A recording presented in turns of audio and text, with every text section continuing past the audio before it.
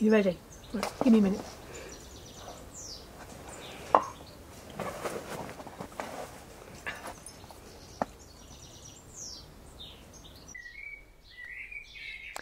You know, this world is complicated and imperfect and oppressed, and it's not hard to feel timid, apprehensive, and depressed.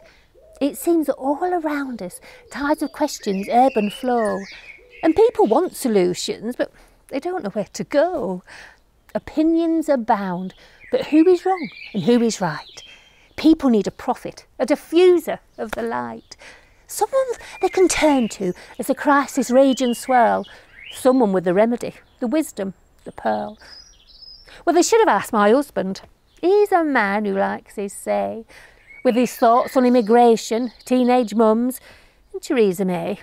The future of the monarchy, the latest Brexit shocks, the wait for hip replacements, and the rubbish on the box. Yes, they should have asked my husband.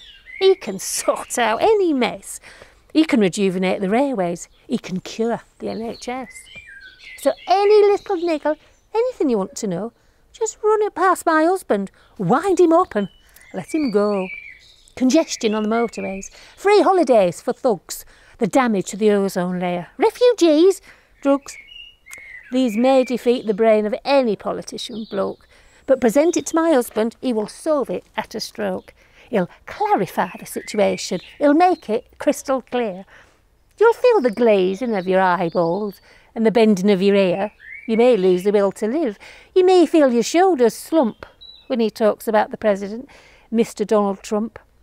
Upon these areas he brings his intellect to shine in a great compelling voice that's twice as loud as yours or mine. I often wonder what it must be like to be so strong, infallible, articulate, self-confident and wrong. When it comes to tolerance, he hasn't got a lot. Joyriders should be guillotined and muggers should be shot. The sound of his own voice becomes like music to his ears, and he hasn't got an inkling that he's boring us to tears. My friends don't call so often. They've got busy lives, I know. But it's not every day you want to pull a windbag, suck and blow. Google, Safari. On them we never call. Why bother with computers when my husband knows it all?